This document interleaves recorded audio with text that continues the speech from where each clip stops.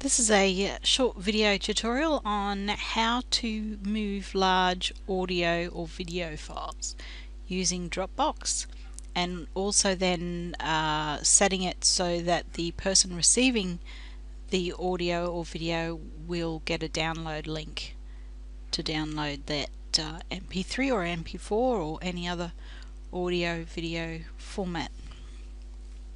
So in Dropbox you will have a public folder. The great way to use a public folder is to transfer one-off files to um, other people, to your clients or customers. Now you can see that I've got Dropbox installed on my computer and there's the public folder. If you're using the browser version, if you just click on files you'll see the public folder there. So the first thing you want to do is get your audio or video file which I've got sitting on my desktop here and put it in to your public folder. So I've just opened up my public folder and I'll just drag it and drop it. I'm just using a very small mp3 file.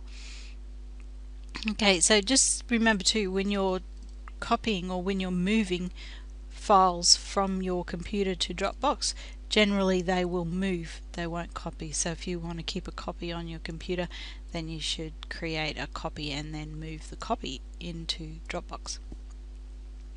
Okay so it's in Dropbox. I just need to right mouse click on it and copy public link. And that will copy it to my notepad. So I'll just open up notepad here and paste it in so you can see what it looks like. So that's the file, the mp3 file, and this is the public folder URL there. Now what happens though when you share that URL the person receiving it will actually get a um, playable version in the browser. Let me just show you what happens. Um, so if I'm if I go and paste that URL in there well obviously it's not uploaded yet so we'll just wait a minute and I'll come back. Okay so it's uploaded now. Let's have another go.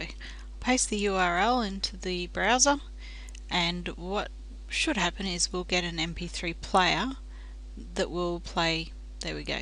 So it's not actually letting me download the MP3 but what you can do is just excuse me if um, if you just paste this little this little bit of code here onto the end of the URL there so it's question mark DL equals 1 so basically that's saying download once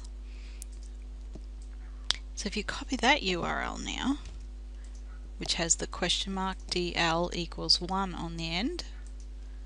Paste that in and what it will do is actually bring up the download dialog. Here we go.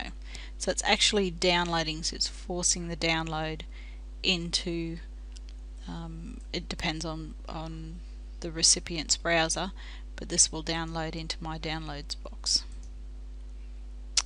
Okay, so there you go. It's that simple. If you're using the browser version of the public folder, you would just very very similar approach. Just go and find the video or the audio. Just click on it, and then copy public link. So you've just highlighted it, and then copy public link.